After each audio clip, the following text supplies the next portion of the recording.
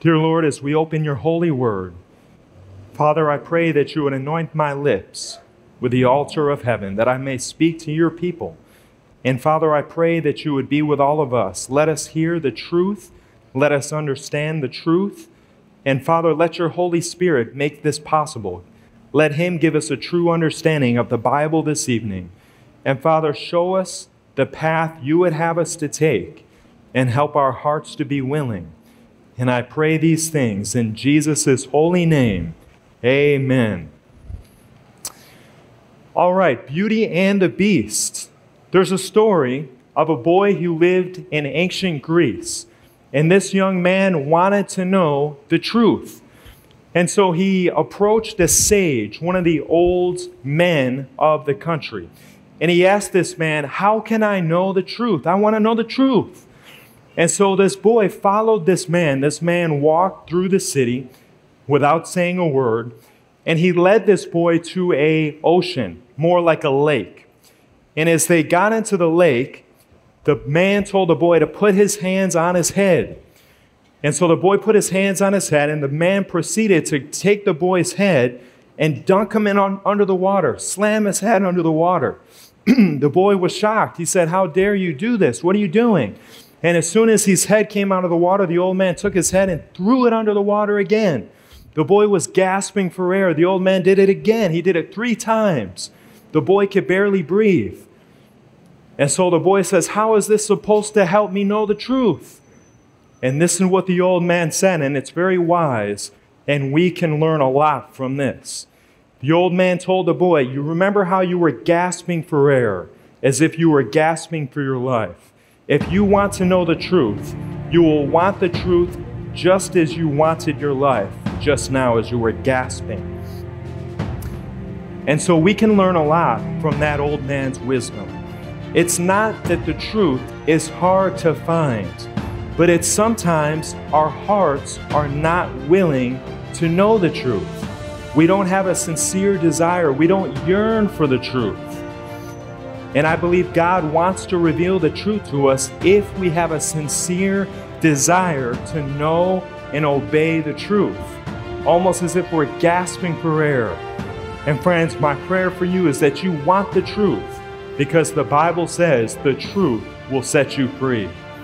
And so tonight, friends, we're going to go to God's Word.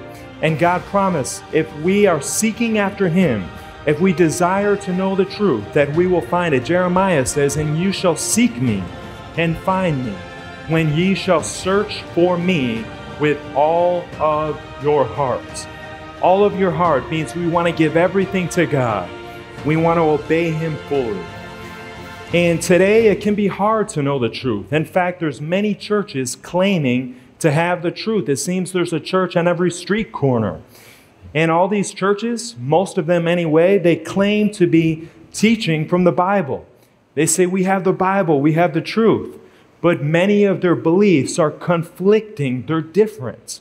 And so, how can sincere, honest Christians who are desiring to know the truth, how can they be sure what is the truth? Well, the Bible tells us that there's one truth and there's one true church. The book of Colossians, it says, And he is the head of the body, the church, who is the beginning, the firstborn from the dead that in all things he might have the preeminence. Speaking of Jesus, he's the head of the body, which is the church. And the Bible goes on and says, Let the peace of God rule in your hearts, to the which also you are called in one body, and be ye thankful. And so, not only is Christ the head of the body, which is the church, but he is calling his people to be united into one church. That's his desire. It was never God's desire to have so many divisions. That wasn't God's desire. In fact, the prayer of Jesus reads like this that they all may be one, as thou, Father, art in me, and I in thee, that they also may be one in us, that the world may believe that thou hast sent me. So, Jesus' prayer, Jesus' desire was that his people would be united, would be one. And so, why is it that we have churches all over many teaching different things, all claiming to know the truth. And why this division? Well, friends, the Bible predicted that there would be division in the church, and it even told us how it would happen. Let us read. It says, Take heed thereunto yourselves and to all the flock, over which the Holy Ghost hath made you overseers, to feed the church of God, which he hath purchased with his own blood. For I know this, that after my departing, grievous wolves enter in among you, not sparing the flock. So the Bible warned that wolves, in fact, the Bible elsewhere says they'd be like wolves in sheep's clothing that would come into God's church and would deceive the flock, God's people. Also, of your own self shall men arise, even Christian men, the Bible predicted, men claiming to be of God, speaking perverse things to draw away disciples after them. And so the Bible predicted that there would be divisions arising from false teachers. And this is exactly what happened as we look through the annals of history. We have different false teachers and false doctrines began to be brought into the church. And so we can see evidence that the Bible was true in its warning. But as we head to the book of Revelation, God's last day message for his people, this book casts light on what the true church and the false church really is. In fact, Revelation depicts God's true church in the last day as a woman, a woman clothed in white, a pure woman, but it also represents the false church as a harlot woman. And so the Bible gives clear symbolism as to the characteristics of each of these churches. And we're going to analyze, we're going to study these churches this evening.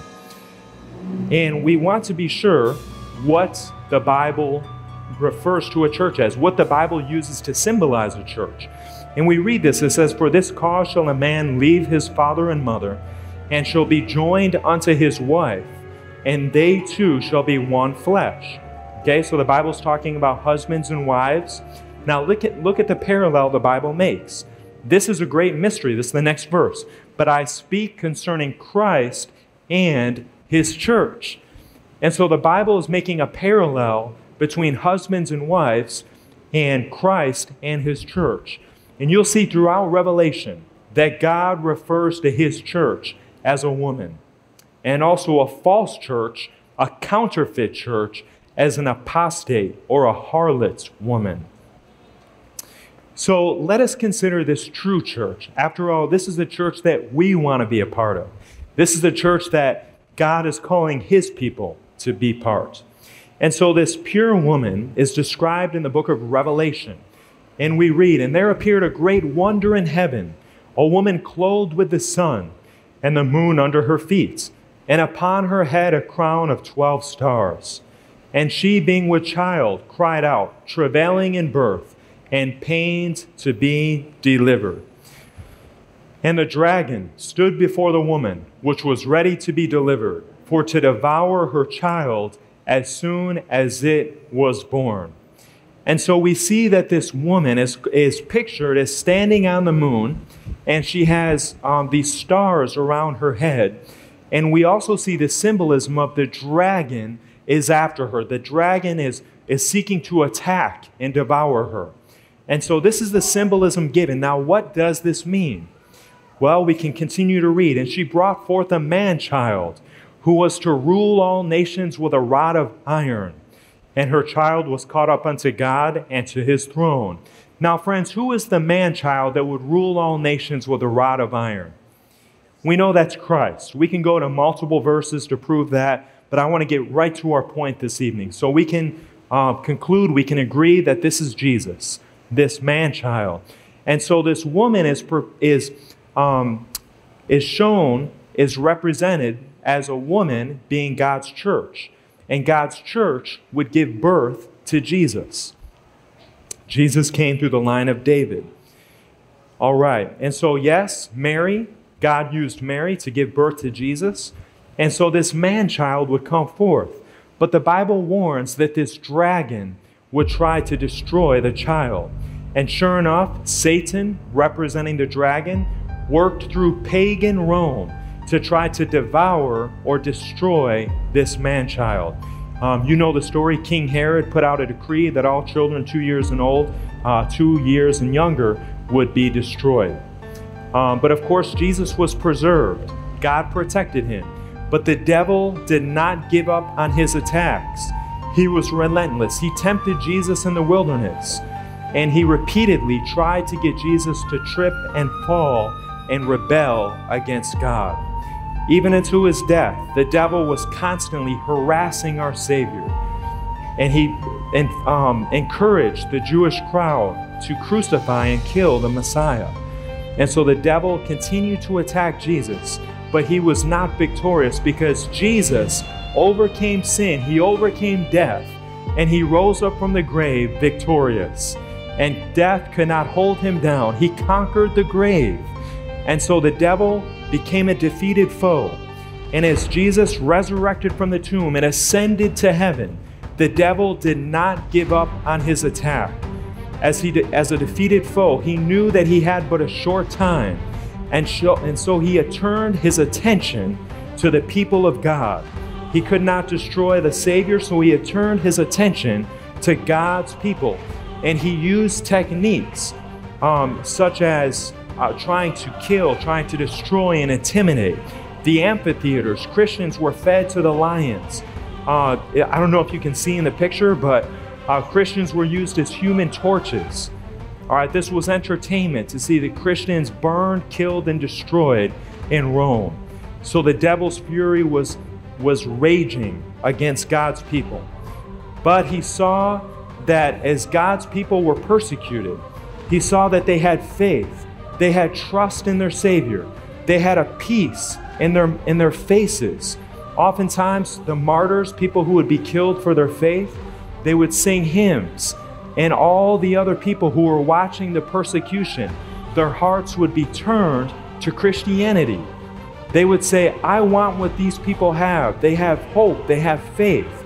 And so the devil realized that his tactics of, of attacking and brutalizing God's people were not working.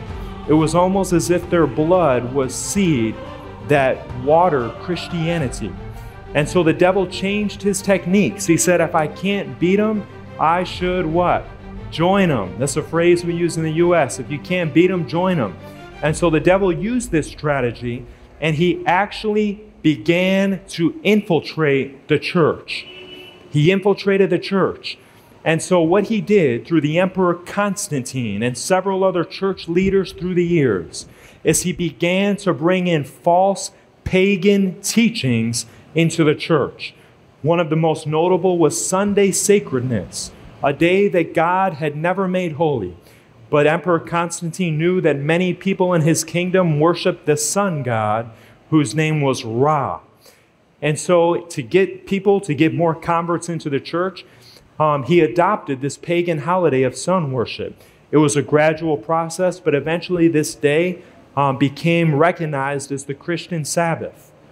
Many other things, such as the immortality of the soul, um, began to come into the church. And so the pagan Roman Empire made a smooth transition into the papal Roman Empire or the Catholic Church. And historians are quick to admit, admit this fact. In fact, we can read the new Christians were as far from thinking and habits went, the same old pagans. Their surge into the churches did not wipe out paganism. On the contrary, hordes of baptized pagans meant that paganism had diluted the moral energies of organized Christianity to the point of impotence. And so, again, we see that the new Christians were simply baptized pagans. It was a convenience. Now Christianity was it was convenient to have that as the official religion of the Roman Empire. But friends, Christians, there were many Christians who despite the persecution, despite the error and the falsehood that crept into the church, they remained faithful to God. They were faithful. They were few, but they were faithful. And so the Bible tells that the, that the devil, Satan, was relentless. He continued his attack against God's church. And we read that the dragon persecuted the woman, which brought forth the man child. Remember, the woman is God's church. And the woman fled into the wilderness, where she had a place prepared of God, that they should feed her a thousand two hundred and threescore days. Okay, now the wilderness in the Bible, wilderness represents a barren land, okay, a unpopulated area. And so we can see that the woman, God's church, would flee from the persecution that was happening in Europe, and they would go to the wilderness, and that God would feed or protect her for 1,203 score days. But we also know that that was a period of persecution by the papal church. And this is a review, we've learned about this in our last two messages. But the papal church gained her supremacy in 538 AD. This is when the church uprooted the last of the three kingdoms that were opposed to her rule. Okay, those kingdoms were the Heruli, the Vandals, and the Ostrogoths. Okay, and in 538, um, the papal church came into full power, and they would last until 1798, when the Pope, the church, would receive a deadly wound as Pope Pius VI was taken captive by the French general Berthier. Okay, and that showed that the papacy no longer um, had, had total power in Europe like they did for the last 1,000 plus years. What happened in 538, as soon as the papacy gained their power, uh, Justinian made this quote. He said that the head of the church, the true, is the true and effectual corrector of heretics. And so don't miss this, friends. The church adopted a policy that is not in line with Scripture. They, they adopted the policy of force and intimidation. In other words, if people did not agree with the doctrines or the teachings of the church, they were persecuted, they were killed. And in fact, the Pope, okay, also known as the Bishop of Rome, um, was in charge. He had the authority to persecute and even to kill heretics. And so, what did the Christians do? They fled to the mountains.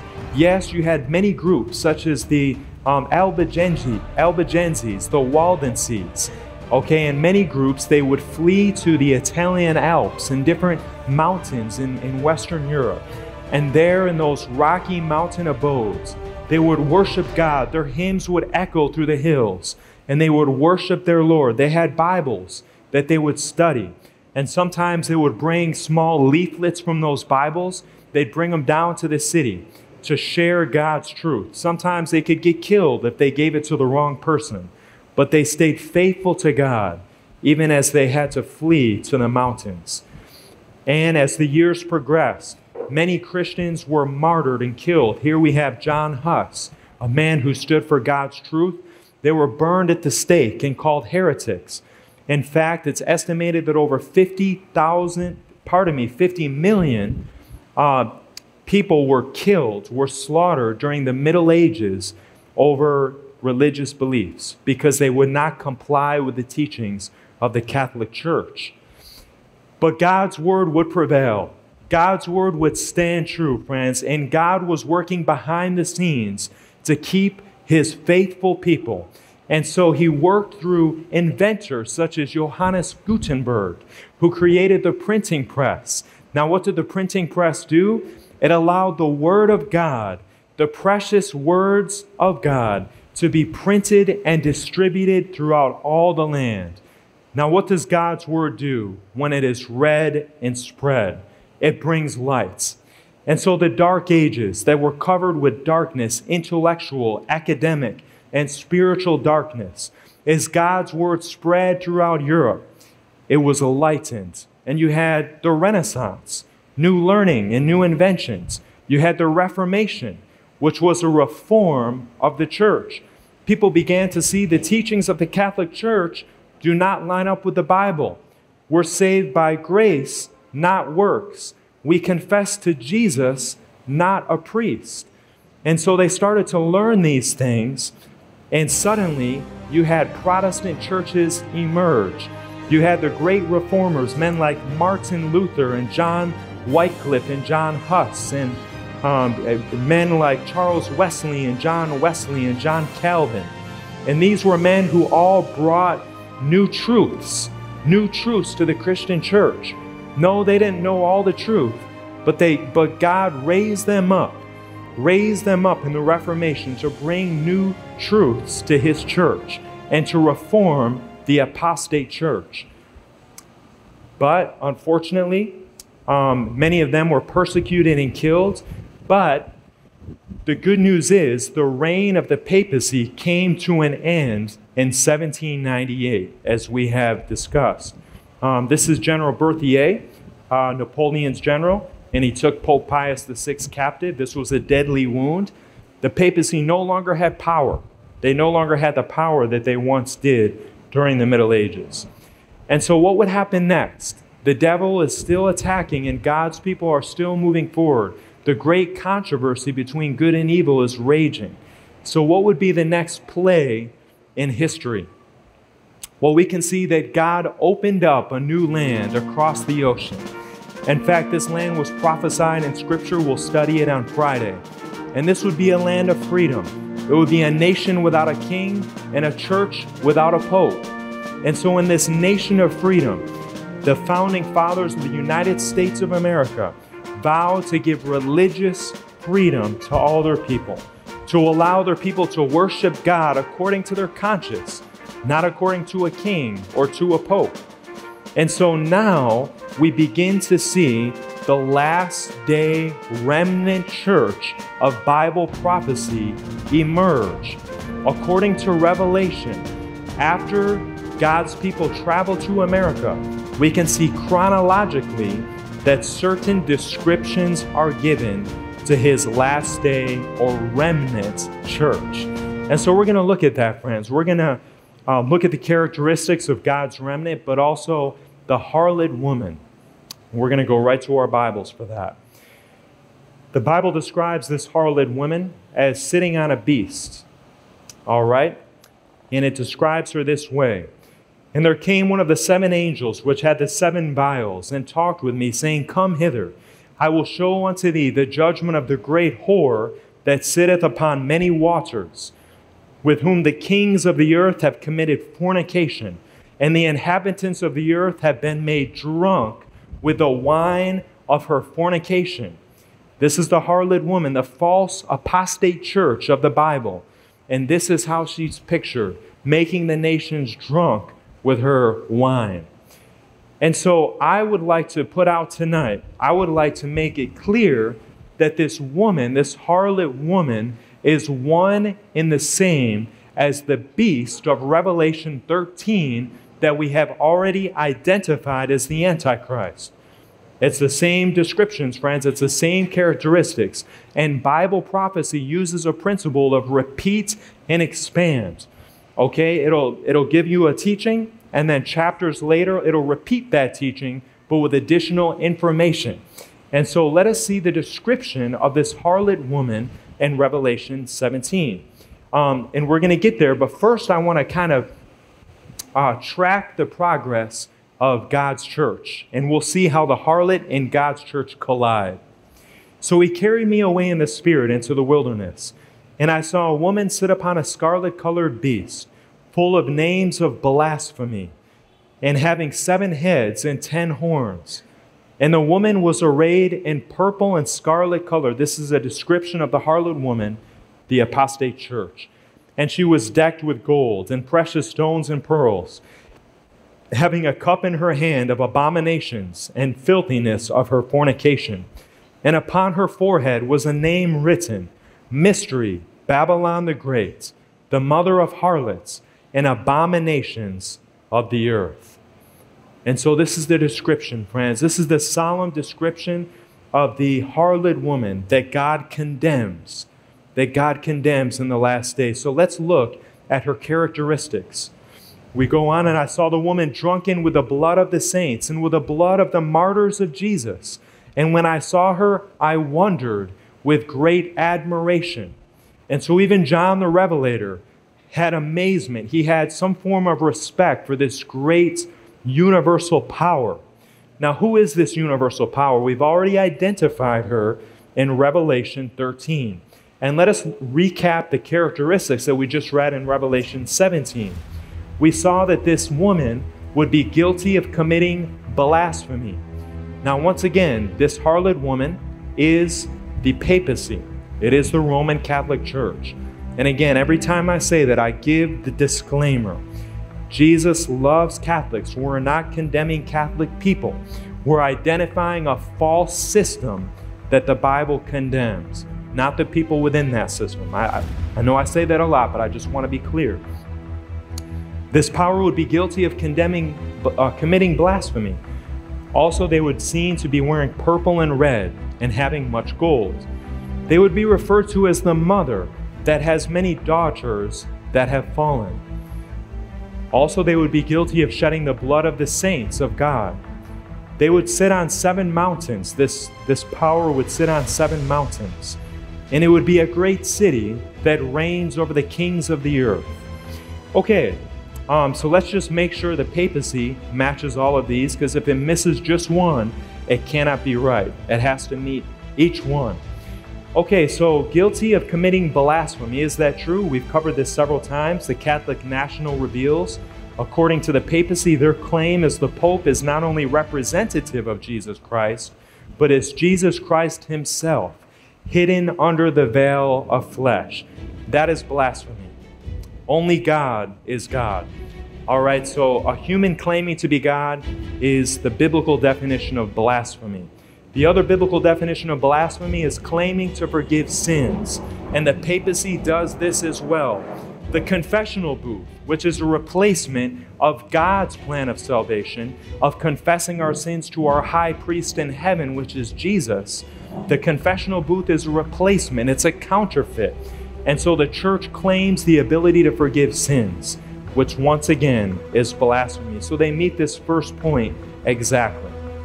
The next point we see is that the church, or this, this harlot woman, excuse me, would seem to be wearing purple and red and having much gold. Now, it's almost as like God has just wants to be so precise so that we'll have no doubt of who these powers are fulfilled by. And the church, even their main colors are red and purple. That's even their colors. It, it's so, the, the prophecy is so precise, it's so exact. All right, and also wearing much gold. No one will argue that the papacy is, uh, their wealth is beyond imagination. If you consider the years that they have accumulated um, indulgences, where they have actually um, sold um, selling, they've sold forgiveness of sins to, to God's people, okay, which is against the Bible, and all the all the monies they've collected through the centuries. If you look at their elaborate buildings and their vast amounts of property, the wealth of this organization is, is unimaginable. And so truly they meet the description given in Revelation. Also, and I don't I want you to miss I, I don't want you to miss this. Um, this is a very important point letter C.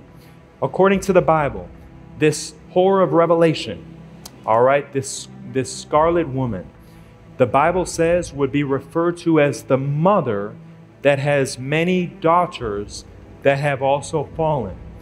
Now, I want to be very, I want to be very tactful because I believe that God has loving Christians in all churches, in Protestant churches, in Catholic churches. God has sincere, honest people that are following the light that they know. In fact, I can't say that I'm a better Christian than any of them. That's between them and God. But I do want to point out that according to the Bible, the churches that follow in the teachings of the papacy, that have adopted or borrowed the same teaching, the same false teachings as the papacy, the Bible refers to them as her daughters. Okay, as her daughters. And so it's true that the papacy, if you look at many of the churches in the Protestant Christian world, many of them have the same beliefs as the papacy. Okay, for example, the immortality of the soul. We have seen that it's not biblical, it's a pagan teaching. It's not supported by Scripture. The Bible says the dead know nothing. But there's many churches that have adopted this pagan teaching, teaching that you fly directly to heaven or go directly to a uh, unknown place called hell in the middle of the earth somewhere. The Bible doesn't support that. It says that the dead wait in the grave until resurrection day. And so this is part of the false teachings of the papacy. Okay, Sunday sacredness. Once again, not supported in Scripture, but many churches have adopted this teaching. And so, therefore, the papacy, the harlot woman, does in fact have many daughters. The next point that we read is this power would be guilty of shedding the blood of the saints of God. And this one we don't have to spend much time on, it's so clear. In fact, conservative estimates say that the papacy is guilty of killing over 50 million Christians. Okay, people that did not agree with her teachings. Also, this harlot woman is said to be sitting on seven hills, uh, pardon me, seven mountains. Did you know? Uh, who knows the nickname for Rome, Italy, which is the headquarters of where the Vatican is? It's actually called the City of Seven Hills. You can Google it. I, most of you probably already know that.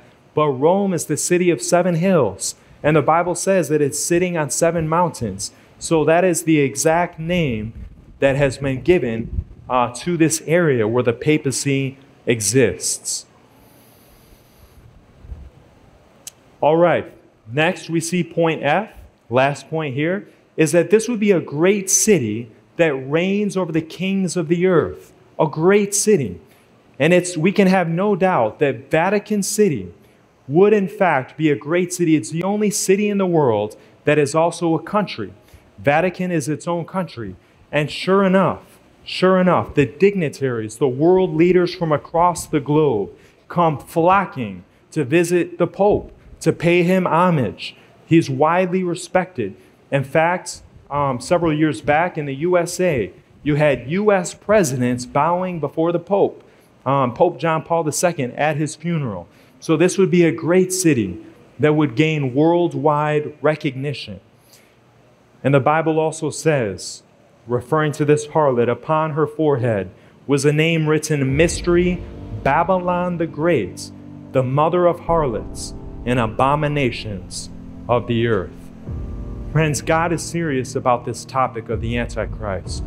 There's a reason that we're sharing these truths with you because this power receives God's final warning and condemnation. And we don't want anyone here to be affiliated with this harlot woman, this power known as Babylon. We want to give you a solemn warning so that you can avoid the, the results that will happen to this power. And so, Babylon, we see a name given to this harlot woman, this false church. It's called Babylon the Great.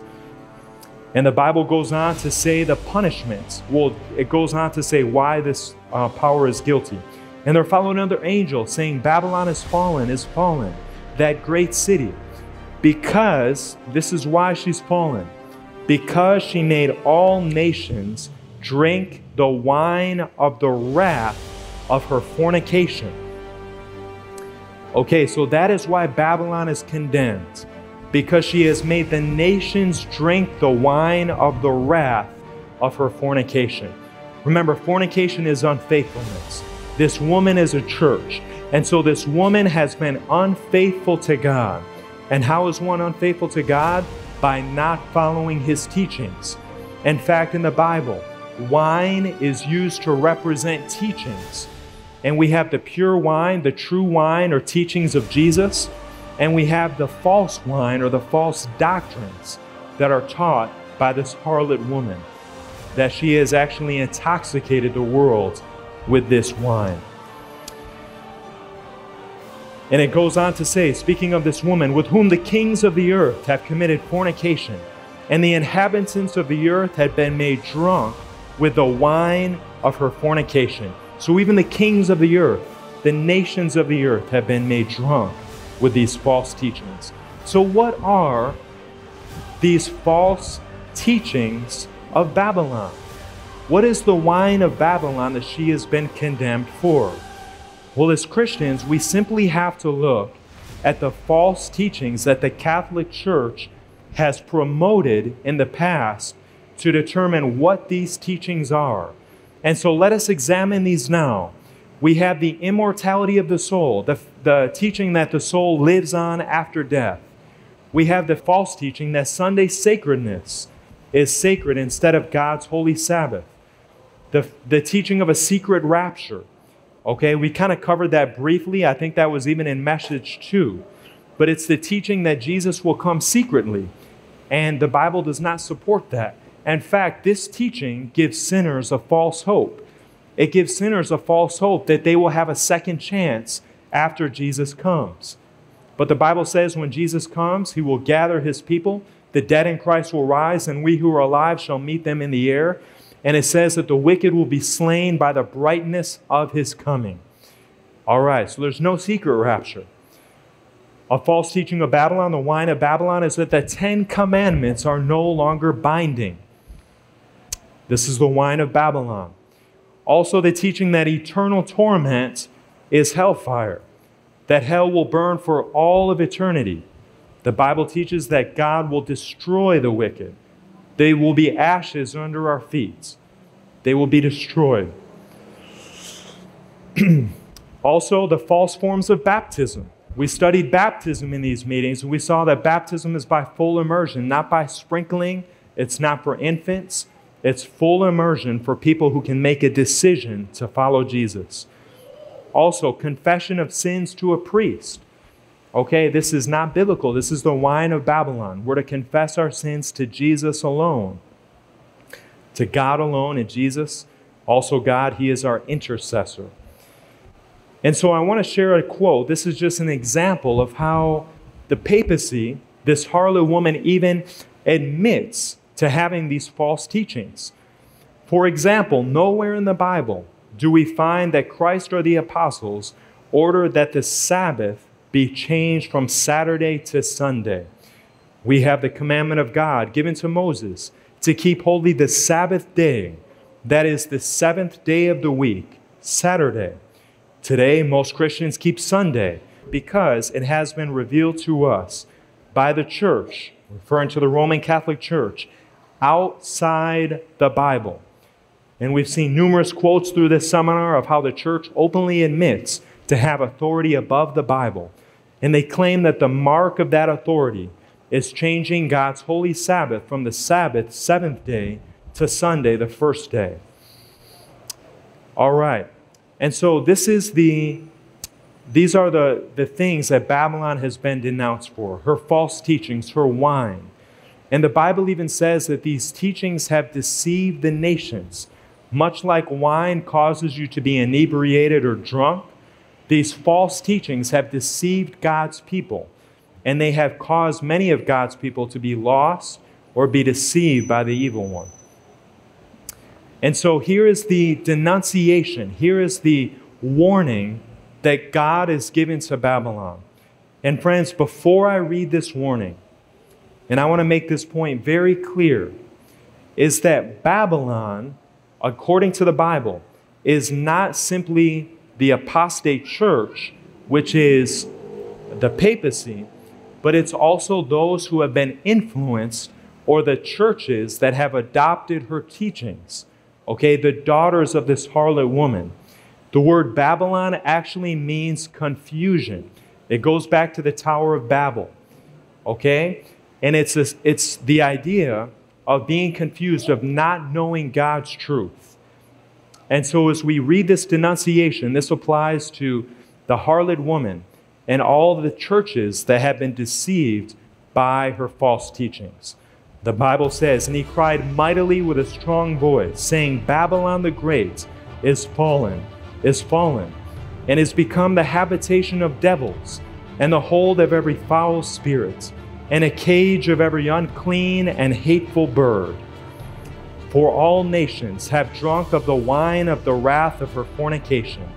And the kings of the earth have committed fornication with her. And the merchants of the earth are waxed rich through the abundance of her delicacies. And friends, don't miss this. This is the final warning given to Babylon. And it's something none of us want any part of. And I heard another voice from heaven saying, Come out of her, my people that ye may not be partakers of her sins, and that ye receive not of her plagues. And friends, in that warning, I can hear the love in Jesus' voice. I can hear the passion. I can almost hear uh, tears coming through that warning. It's the most solemn warning given in Scripture, but it's filled with love. I want you to take a close look at this message that Jesus is giving to Babylon, is giving to the false church and those who have been deceived by her false teachings. Jesus calls them, and don't miss this, Jesus calls them his people. Jesus has people in Babylon. Jesus has people that love him and are following the best they know. But as they hear the truth from God's holy word, God is calling them to come out of her. God is calling them to, to separate from this harlot woman who will be destroyed because he knows that the false teachings of Babylon lead to destruction. And so Jesus is giving a message of love, but of solemn warning.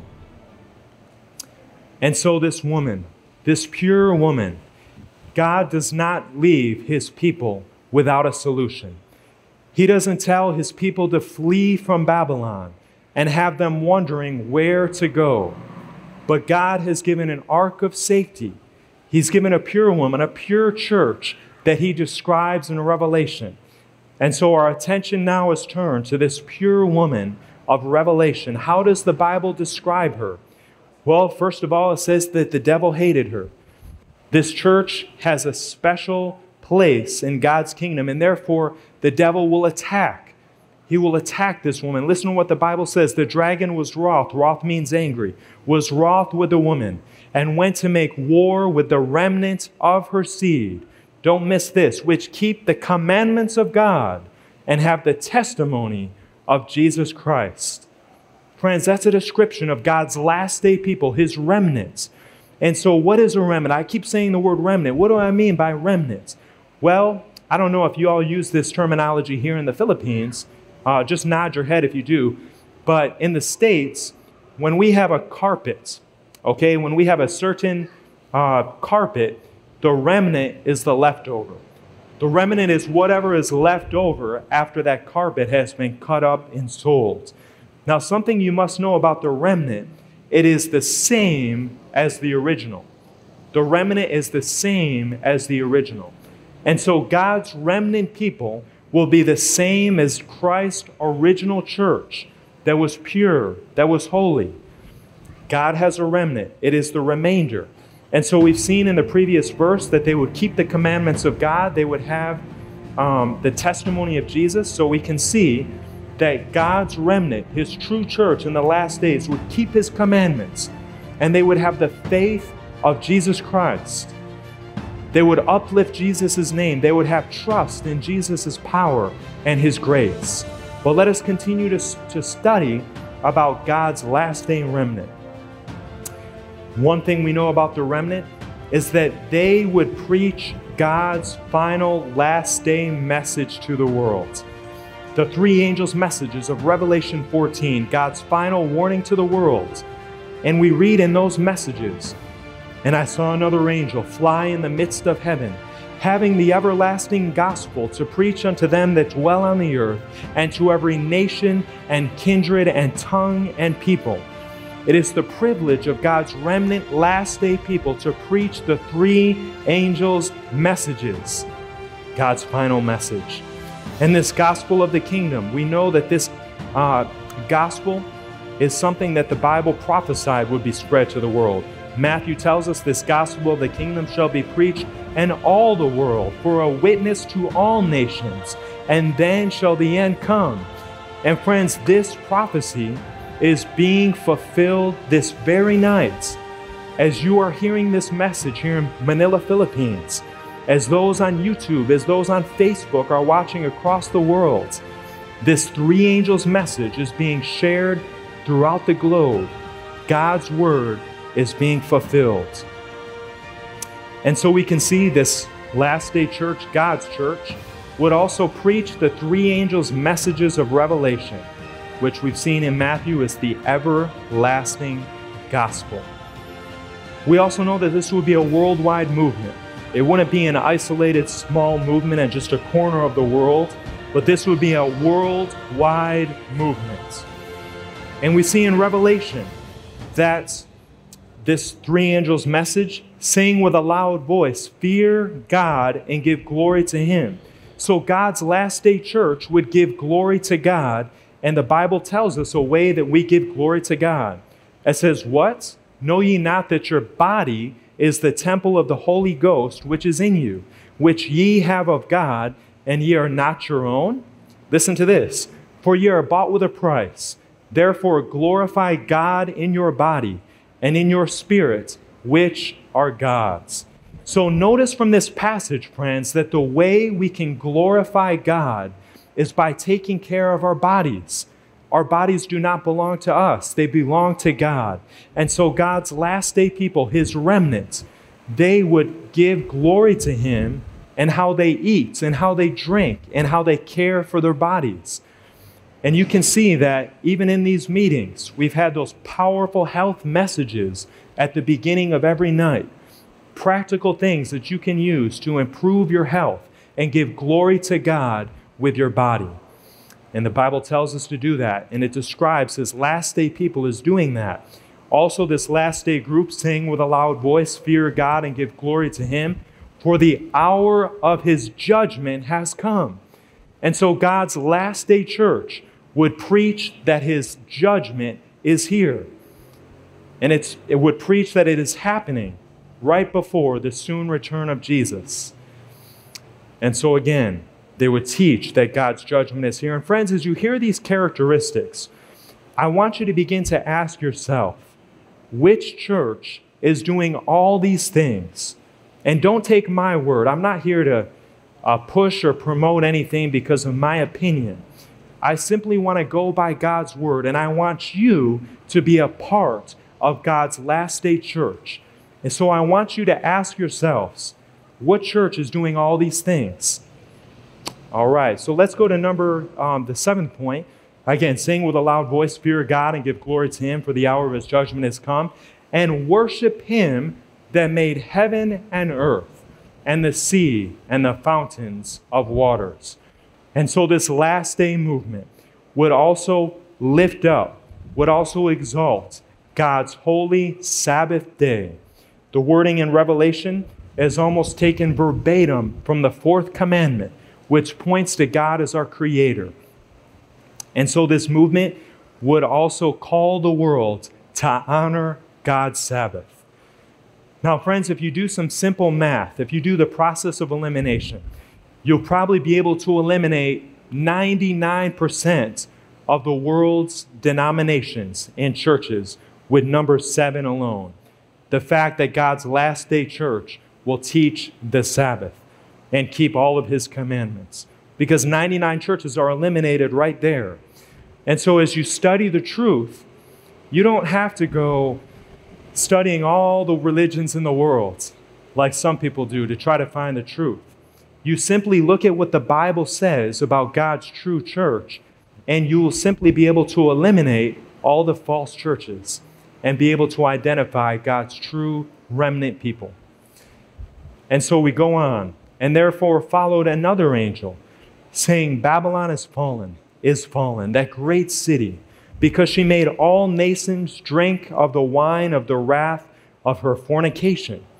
And so, this last day movement, God's true church, would also warn the world about the false teachings of Babylon.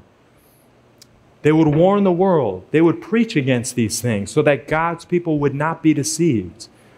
And friends, these are the characteristics of God's true church. And friends, I want to tell you tonight that I want to be very confident in saying this. And I don't say this because um, I belong to this church, but I have carefully examined all of these facts. And I have seen that there is one church, there's one church in the world that fulfills all of these characteristics. All right? And this is not being exclusive, this is not boastful. This is simply Bible facts. As you look at these characteristics, God has lifted up a church as a movement of destiny. And it started in the 1800s. It started as what was known as the Advent movement. And these were people looking forward to the second coming of Jesus. And out of that movement grew a people that studied the scripture. And they started to learn about the judgment message, about the sanctuary, about God's Sabbath. And they organized and they became identified as the Seventh day Adventist church. All right, and I'm sure a lot of you have already um, heard that. Some of you have already been attending our church on Sabbath. But, friends, this is the only organization, this is the only church that is following all of the characteristics of God's remnant people. And again, I invite you to compare the biblical characteristics. And I wouldn't tell you that if it were not true, if it were not Bible truth. Because, friends, I don't want you to be deceived. I want everyone here to find God's ark of safety, to be part of His pure woman, represented in Revelation as being His true church, and not to be part of Babylon, a system that has been corrupted, that has been deceived with false teachings. Friends, we can see that God would not leave His people stranded he gives very firm warnings about this harlot woman. And he says, Do not be a part of her plagues. He says, Come out of her, my people. But we know that God will always have a solution. He doesn't want you to, to be lost, to be stranded. So he has provided a church that is keeping his commandments and that matches the characteristics of Revelation of his last day church. And we see this serious, solemn warning once again For all nations have drunk of the wine of the wrath of her fornication. And the kings of the earth have committed fornication with her. And the merchants of the earth are waxed rich through the abundance of her delicacies. And I heard another voice from heaven saying, Come out of her, my people, that ye be not partakers of her sins, and that ye receive not of her plagues. And friends, I know many of you, many of you are very rooted in your church. And again, I want to say this. I this is I, I don't judge any Christian, Catholic, Protestant. It's not about the individual. I believe that there's loving Christians in all churches. In fact, I've had the privilege of getting to know many of you, and I have been convinced that you love Jesus that you are willing to go wherever He calls you to go and to follow whatever He teaches you to obey. And so, this is not about an individual, but friends, this is about being safe with Jesus in these last days, of being part of His remnant people that keep His commandments and have the faith of Jesus. And so, as you consider this message, I pray that you would consider the appeal of Jesus of come, come out of her, my people. Jesus is referring to those in Babylon, to the fallen Protestant churches who have been deceived by the teachings of Babylon. He is calling them my people. And he's saying, You're my people, come out of her. I don't want you to be deceived. I don't want you to receive the plagues that will come upon Babylon. And friends, out of love, there's love in my heart for you. And it's my desire for you to also come out of Babylon and be part of God's last day remnant. And I believe that all of us here, God has brought to this place for a purpose. And I know that these messages have been eye opening, um, even alarming at times to many of you. But, friends, keep your eyes on Jesus because he wouldn't reveal truth to you if he wouldn't help you to follow it. And He has entrusted you with these messages, and you have a solemn responsibility and privilege to walk in the light that He has given to you. And I know sometimes it's uncomfortable. It's uh, uncomfortable to follow Jesus, but it's always worth it. It's always worth it, friends. And as we reflect on tonight's message, I think of think of Noah's Ark because back in the Old Testament, we had an unpopular teaching. The majority of the world did not accept it, but it was the Word of God. And Noah preached for many years. And he was rejected by many, but he continued to preach the message. And as those faithful few, it was only eight people, only eight got on that ark, they were protected through the storm. And friends, in the last days of this earth's history, the Bible tells us that a storm greater than any has faced the earth will come. But, friends, God has not left us without an ark of safety. God has offered us a protective ark for us to join in these last days, a church of like minded believers that keep His commandments. They have the faith in Jesus. They are teaching His judgment, preaching the three angels' messages, teaching that your health and your body matters. And friends, God's last day people will be those who go through to the end and friends, I invite you, I invite you to be a part of that group, to get in that ark of safety that God has given to each of us. And as we conclude, I want to um, just guide you through that decision card that was given to you. And if you could take out that card, and I'm just going to um, help you understand which each of the options are, and you can check whatever is appropriate that God is impressing you to check. And the first is this it is clear to me that a remnant is an authentic continuation of the original, and that in the last days, the pure faith of Jesus is to be once again taught again. If that's clear to you, please check off that first box. The next box says, I want to follow Jesus completely and be part of his last day remnant who are described as keeping the commandments of God and the faith of Jesus. And friends, I pray that everyone in this room checks that box. Because, friends, that is how God's people will make it through by the faith of Jesus, which inspires and empowers them to obey his commandments. The next box reads I would, I would like to be part of a worldwide movement that fits this prophetic description the Seventh day Adventist Church. And we have seen, friends, that there is only one church that matches all the descriptive points. And I wouldn't be part of the church if that wasn't true. It wasn't convenient for me to be a part of this church. I gave up some things, but I couldn't deny that there is one single church that clearly matches all of the Bible's descriptors. And it makes sense. It makes sense because God has called his people into one church and he has always preserved a remnant throughout history. And as we look around, we can see one church, just one, with the characteristics of that remnant. And the last box is simply I would like more information on this subject. And if that is appropriate, if you'd like more, you can check that box. And friends, as you consider this, once again, I encourage you to put your trust in Jesus, to know that if you take a step of faith, that He will honor that. The Bible says the path of the light, the path of the path of the righteous is as the shining light that is shining brighter and brighter unto the perfect day.